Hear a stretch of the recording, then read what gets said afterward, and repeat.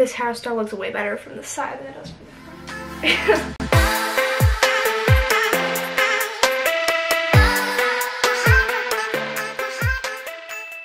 Hey guys, what's up? Welcome back to my channel and it's finally happening. It's happening. I am finally doing squishy makeovers. You guys have been requesting me to do this for pretty much ever since I started my first Create This Book video and I didn't do it for a very long time and the main reason was I didn't have the supplies, I didn't think I could do it and I just didn't want to turn into like a copy of Moriah Elizabeth but I think that this is going to be totally fine and I don't even know if it's going to be a series or not. We'll see how this goes. But yeah, let me just kind of show you what I've got. You can kind of see the little bits of the squishies over there. So first, we're kind of going through the squishy process. We have Fabric Fusion, which is to glue the squishy together. I got a big thing of puffy paint because I actually don't have any puffy paint. Puffy paint is very good for sealing up holes and cracks in the squishy. Next, I got some slick fabric paint and I got white and I got black. Slick fabric paint is usually only used when you want more texture, more shine to it. And then the main attraction was the plain matte fabric paint. Now, this is not the exact one that Moriah Elizabeth recommends. However, it is the same brand and it just says it's brush on fabric paint. So I feel like that makes sense. Guys, this is my new obsession. I've been doing this. See this? Too much. So now let me introduce you to our victims our squishies that we're gonna be making over today. So the first one is the only squishy that I actually own myself, my own little squishy. And that is this little pineapple. Oh, look how cute. I got it at an amusement park. I won it playing arcade games. It is very squishy. I actually already pulled out a little keyring at the top of it. There's a whole keyring. However, over the time, because I did squish it a lot, the top part is almost completely fallen off. So I will need to reattach that. But other than that, it's in like pretty good condition. Um, I think I'm to keep the same general design. I think I'm to do things super simple for this first makeovers, guys, because I don't know what I'm doing. And then second thing we have is a hot dog. I remember one year, a couple years ago in our stockings, my parents gave each of my siblings one squishy and this is the one that like my brother Luke got. So don't tell him that I'm doing this with it because he doesn't know but I don't think he'd care. This one is also super weird because like the hot dog part of it is like really hard. It does have a lot of rips and cracks and so definitely a lot of room for improvement on this one. I feel like I need to sanitize my hands after touching those. I'll just take a deep breath and get started the first thing we gotta do to our little friend is scratch the heck out of it. When you have a smooth squishy, you have to use sandpaper to make sure that the paint can adhere, because if you don't do that, the paint will just peel right off. Once we finished aggressively scraping the squishy, it was time to break out the fabric fusion, which I tried to use without breaking the seal. Okay, so I'm just reattaching the top of that pineapple with the fabric fusion, just filling it all in there, and then I have to rubber band it shut and leave it for about 30 minutes in order for it to dry. So here's me waiting and then deciding to do the cup song with my hands because I was bored, I guess. I don't, I don't know. 12 seconds later. And here she is, all dry and ready for unfurling. So we're taking off the rubber bands one at a time, waiting for that to unravel. and the fabric paint did a great job because it's stuck on there pretty well. Next, I'm breaking out my scissors to cut off that top bit where the keyhole thing used to be, and then also just cleaning up some seams, messy areas, areas that I don't want to look like that before breaking out my puffy paint to fill in the holes.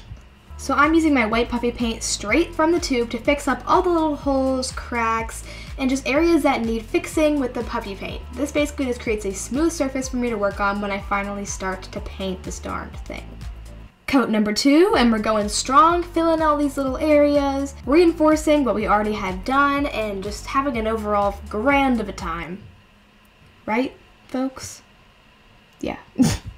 Multiple layers of that later, and we finally have our pineapple. This is what it looks like with all of the puffy paint on it, and now we're pulling out the fabric paint. So we got this matte fabric paint here and we're getting the yellow paint and some white paint actually, the slick paint, and mixing it together to create a nice light yellow for the pineapple base. And we're finally about to put our first touches of paint, but wait! Shouldn't you put a white base coat on first? The answer is yes, because I quickly realized without my white base coat, there was no way the yellow was going to show up. So I start by putting some white matte fabric paint, and I did multiple layers of this before it was finally time to paint.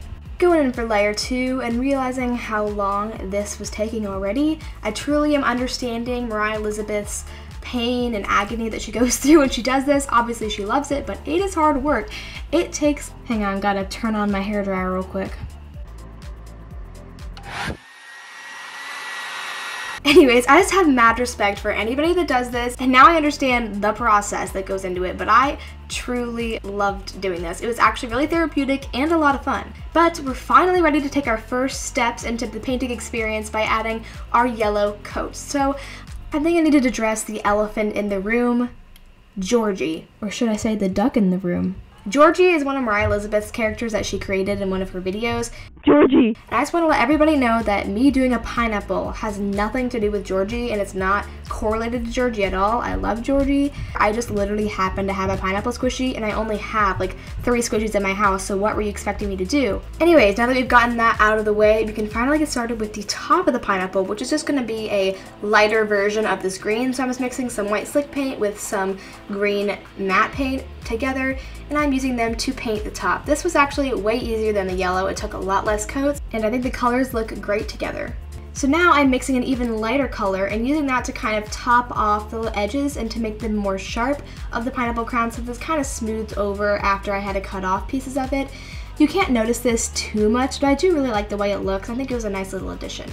So now I'm doing a few cleanups here and there with the yellow because I'm actually going to be covering up parts of this with an orange color along the stripes. So basically I'm taking some orange and mixing it with the yellow to create a darker yellowy orange color and I am using my dotting tool to go along the stripes just like this here. Now all that's left is the face, which made me very, very nervous. So I started using some white paint just to kind of sketch out where I wanted to go. This face is going to be, again, super simple. Then I went in, went for it with the black paint, and actually the black paint wasn't really the issue. It went on nice, and I got a nice little face, some squinted eyes, really easy, and I thought it looked really cute. Now when it came to the mouth, I started off with a bright red, and I thought that looked too harsh, so I replaced it with a pink, and then actually off camera, I got rid of it and then redid it like three times. I don't know why, but eventually I got it to something I was satisfied with. And with the face done, this is a squishy makeover all complete. I really love the way this turned out. I am very surprised at myself for my first ever makeover. This one turned out super cute. Obviously it is super simple and I didn't do anything drastic, but I love the way it turned out and I don't know, just so cute. Okay, time for the hot dog. So we are starting this one off the exact same way that we started off the pineapple, and that was by scratching the heck out of it with some sandpaper to make tiny rips in order for the fabric paint to stick. Once I finally finished doing that, it was time to repair yet another large gaping hole that is eating you with some, you guessed it, fabric fusion. So we are using the fabric fusion to seal up the hole and then again rubber banding it and waiting for that to dry. Very good. Boom, it is now finished and here it, oh, oh, just me being clumsy, okay? Removing the rubber band from that one, and this is what it looks like. Not perfect, but it is sealed up okay. So we had quite a bit of little rips and tears to fix with some puffy paint, so I went in for quite a few layers of this. This is the first layer. I'm going straight from the tube to kind of get that build up that you need. I don't know how it got this way to the point where I needed so many fixes, but it did, so here we are, layer two, and we're back to doing the same thing. I'm using a paintbrush this time to kind of feather out the edges and make it smoother. I spent a lot of time feathering this out because I wanted to make it as smooth as I could, and yet I felt like no matter how much I did, it was never gonna be perfect. Layer three, and we're still going over this, trying to make it as smooth as possible. It was definitely not perfect, and even at the end, it wasn't looking completely smooth. Next, I started applying layers of white, and I wanted to make sure this was very white because my design is going to be pastel. Actually, this is going to be my entry into the Clara Estelle 1K art contest. Clara Estelle is one of my friends. We did a nice collab together, and soon after that, she actually hit 1,000 subscribers, and this is her little art challenge celebration, and I thought I would enter into the art challenge by using this squishy that I'm designing in this video. So as you can see, the colors I'm using are light blue, light pink, and light purple, and these are very pastel colors, so you can actually barely see them right now, but I'm doing like a very swirly pattern along the sides of this hot dog, which is not gonna actually end up being a hot dog. It's more of like some sort of dessert. I don't know what it actually would be, but definitely not a hot dog anymore. But yeah, I went over this so many times. I kept going over and over these swirls and eventually they started to darken up, but I wanted them to still be pastel and still be very light because that is the theme of the challenge. This is so satisfying to watch and I was so happy with how it was coming out at this point. It was just looking super cute, obviously kind of weird, but also super cute. Going over this layer after layer was also very therapeutic for me, and this is what it looked like once all the stripes were done. The next step was to do the top part, and for the top part, I actually put on some slick fabric paint. I was trying to make it kind of textured at first, but it wasn't really working, so I just kind of built up the layers. So I actually used a popsicle stick at one point to really add to the texture to make it go on smoother, I guess. And I also added some drips on the side of it just to give it a more desserty look, I guess. I don't really know, but I do like the way it looks. So I did have to build up the white for quite a bit in order to get it to look cohesive and for it to look pure white and to make the drips look good and everything but I finally got it all good and when I finally did that I also added some fun sprinkles on the top in the shapes of stars and little dots which I think really helps tide it together. And this is what the final thing looks like. I am absolutely in love with this. And here's my official entry into the Clara Estelle 1K challenge. Yeah, I'm just so happy with it and so excited to be done with it.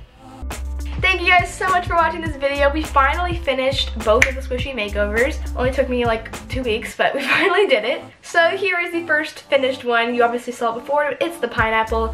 I love this one so much. I'm so glad that I did it. Clara, here's my submission for your challenge, and I really hope you like it. I'm pretty proud of this. I put a lot of time and effort into it, and yeah, maybe I'll win. Thank you guys so much for watching this video. If you liked it, make sure to give it a big thumbs up if you want to. You can also comment down below for a, cha a chance a chance to win a shout out. I should do the rest of it in an Irish accent. Here's the shout out from the last video. Thank you so much for watching this video and for subscribing and for commenting down below. If you want to be the shout out in next week's video, all you have to do is comment down below whatever you would like and you have a chance to be picked. Anyways, thank you guys so much for watching this video. I hope you enjoyed it and I'll see you guys next Friday. okay, bye guys.